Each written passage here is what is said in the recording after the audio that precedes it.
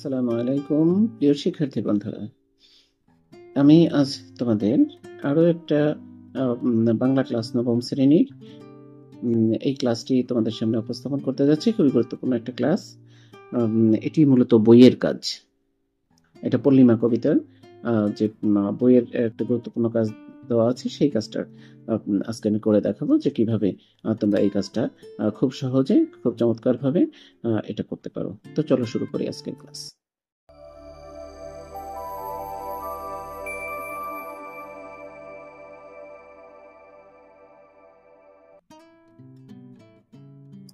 আজকের এই ক্লাসটিতে আমরা দেখতে পাবো ছয় দশমিক এক দশমিক তিন।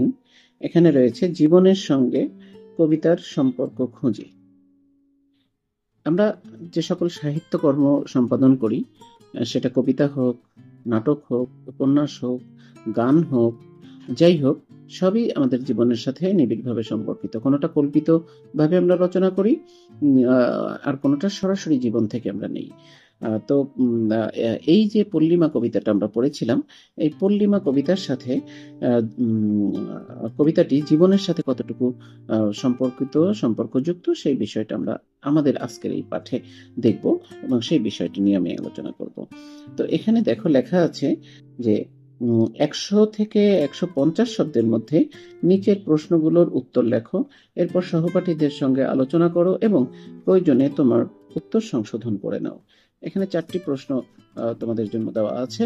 সেই চারটি প্রশ্ন প্রশ্নের কলেবর হবে একশো থেকে একশো পঞ্চাশ শব্দের মধ্যে। সেটা মাথায় রেখে আমাদেরকে লিখতে হবে। এর চেয়ে বড় হলে সমস্যা নেই, কিন্তু ছোট না হয়, এই বিষয়টি আমাদেরকে খেয়াল রাখতে হবে।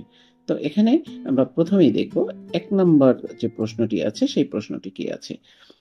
এখানে রয়েছে যে পল্লিমা কবিতায় কবি কি বোঝাতে চেয়েছেন? পল্লিমা কবিতায় কবি কি বোঝাতে চেয়েছেন?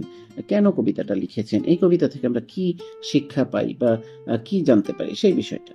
তো এখানে দেখো, আমি লিখেছি যে পল্লিমা কবিতায় শহরের অভিবাস, অভিবাসী অভিবাসী কি যারা গ্রাম থেকে শহরে চলে যায়, এদেরকে বলা হয় অভিবাসী। শহরের অভিবাসী একজন মানুষের মনের অবস্থা তুলে ধরা হয়েছে। প্রাকৃতিক শোভার লীলাভূমি হল পল্লীগ্রাম। সবুজ শ্যামল প্রকৃতির প্রতিটি দৃশ্যই হৃদয়গ্রাহী ও মনোমুগ্ধকর।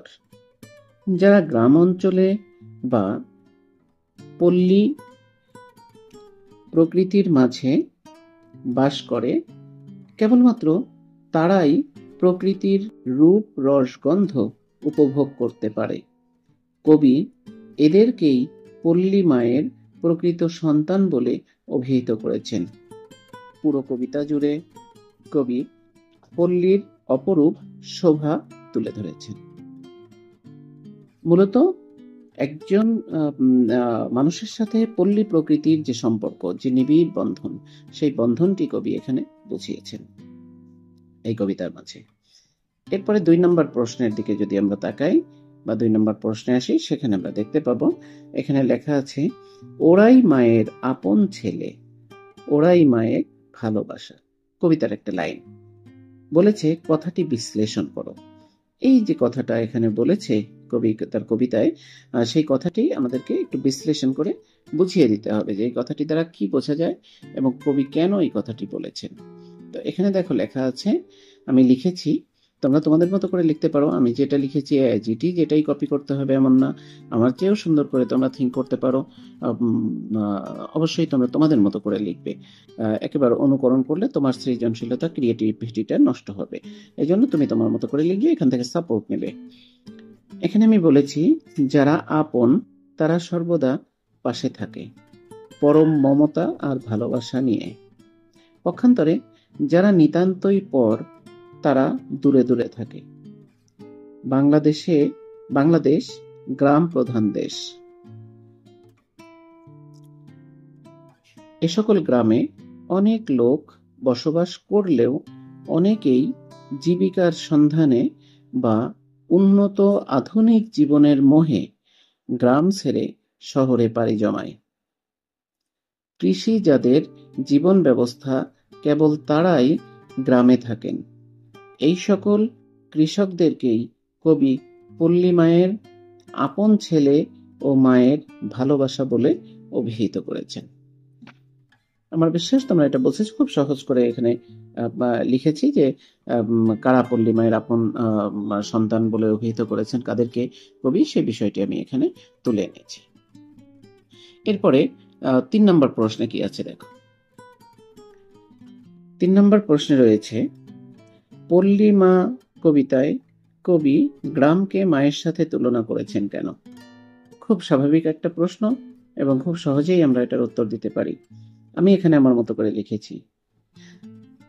তিনি মা, যার শরীর থেকে জন্ম হয় একজন মানুষের।